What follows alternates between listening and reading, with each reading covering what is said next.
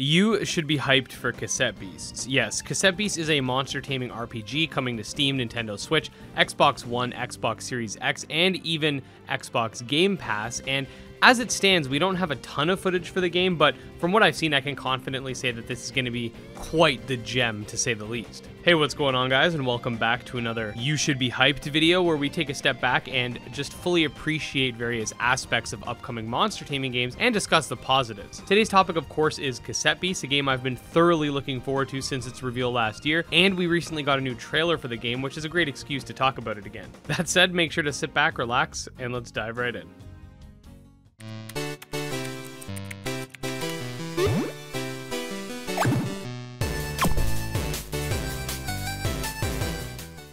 Alright, so Cassette Beasts, despite what you may think at a first glance, is actually very different in how it executes its features than other games in the genre. Firstly, and most obviously, the game does play in a 2v2 format, which is by no means unique as we see that in games like Chain Monsters and Temtem, but where it actually does really stand out is its fusion mechanic, which allows for an insane amount of combinations depending on whom you are utilizing. Now, the way it sort of works is that every monster is monotyped and fusions are dual typed. It seems that the mechanic itself is going to come with its own flaws and benefits depending on how it's executed, since fusing is going to only let you attack once per turn, at least by the looks of it, and since it's 2 on 2, you'll have to keep that in mind. Furthermore, being dual typed also opens you up to more weaknesses as well, so there's definitely going to be a strategic element regarding when you should and shouldn't use it. The fusions themselves are really cool too, as they utilize an algorithm that allows for something like 14,000 combinations, and from what I've seen via their fusion demo on their website, a lot of them look really cool. Anyways, back to strategy, the game features a unique twist to the type chart dubbed Elemental Chemistry, which I think is a really unique and much needed change to the typical one type does more damage than the other type formula. The way the type chart in Cassette Beasts works is that there are three main interactions that can occur.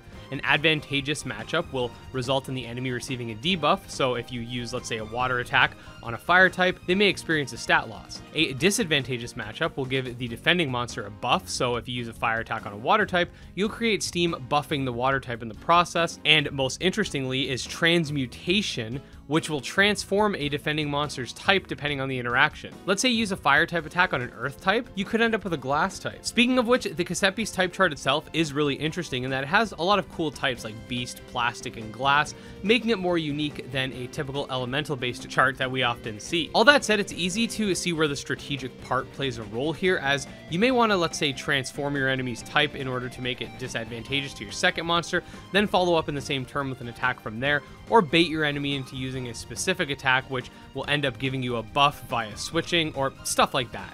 You can also add stickers to your cassettes, which then add an insane amount of customization. I will touch on that in a future video because it's too vast to include here. That said, stickers can add various passive abilities, actual attacks, and they come in different rarities, so you can just imagine the crazy amount of customization there. The unique aspects of Cassette Beasts don't just end at their monster design or type chart either. Evolution is also going to be a bit more complex than most monster taming games. In Cassette Beasts, most evolutions will be branching paths. I don't think the trees themselves will be as intricate as, let's say, say Kindred Fates, but the varying branches will have their own unique reasons for why they go the way they do. The game is also going to be open world, so for you Nexomon Extinction lovers, this one might be right up your alley as well.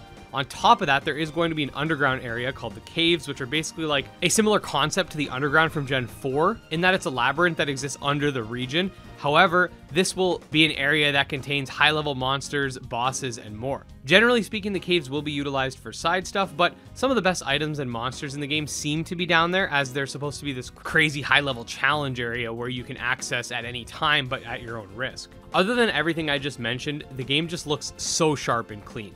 It's bringing forth a lot of unique mechanics to the table, as we've mentioned, and what I've covered here is just the tip of the iceberg. There's bonding mechanics, special ways to traverse the region, a very intriguing premise with you trying to escape this island, and more. On top of it bringing forth all of these unique mechanics and being from an established developing team who have already created a previous game, albeit not a monster taming game, but still a game that I've only heard good things about, the game seemingly has a similar open world and story context to a game like Nexomon, beautiful pixel art, on par in terms of quality with games like Coromon, and all in all just looks like a good time. But yeah guys, that's pretty much the gist of it. Cassette Beast is really shaping up to be an exciting title worthy of everyone's attention. I think the steps the devs are taking to keep the game very unique is really going to to pay off in a big way. As someone who's been following the game's development since its initial reveal, I'm super excited and I don't know, maybe I'm just hyping up prematurely, but I really do expect great things here. That said, if you do want to stay up to date on both Cassette Beasts information and the monster taming genre in general, definitely make sure to subscribe. We just hit 20,000 subscribers, which is absolutely nuts. This puts me at a loss of words. Thank you guys so much. Thanks to my Discord team, my patrons, and everyone that makes these videos possible just by watching, liking, and sharing, and subscribing. To be able to do this YouTube thing full time is honestly my dream, and you guys are helping me make that a reality one day at a time, and I can't thank you enough. That said, I'll see you guys next time. Peace.